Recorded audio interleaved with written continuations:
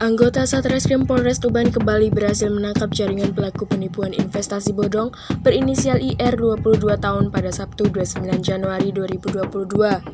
Pelaku berjenis kelamin perempuan itu ditangkap di rumahnya yang beralamatkan di Kelurahan Sendang Harjo, Kecamatan Tuban, Kabupaten Tuban.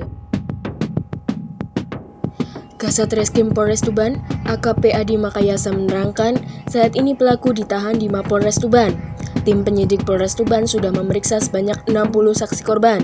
Setelah pemeriksaan saksi-saksi dan gelar perkara, maka pada hari ini tim penyidik Satreskrim Polres Tuban melakukan penangkapan. Dari hasil pemeriksaan, kerugian korban dengan total kurang lebih sebesar 4 miliar 36 juta 775 ribu rupiah.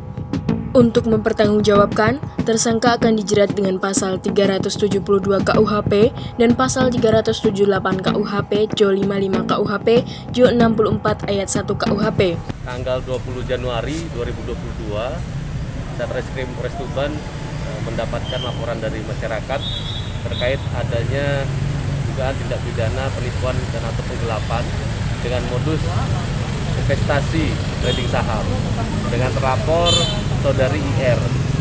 Kemudian laporan dari masyarakat tersebut kami tindak lanjuti dan eh, pada tanggal 29 Januari 2022 yaitu hari Sabtu berdasarkan hasil gelar perkara dan alat bukti yang berhasil kami kumpulkan saudari IR nah itu kami tetapkan sebagai tersangka dan sudah kami lakukan penahanan di Polres Tuban.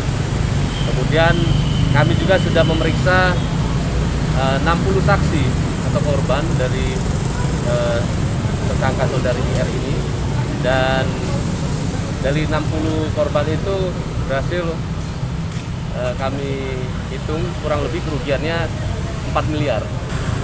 Ancaman hukuman maksimal 4 tahun penjara.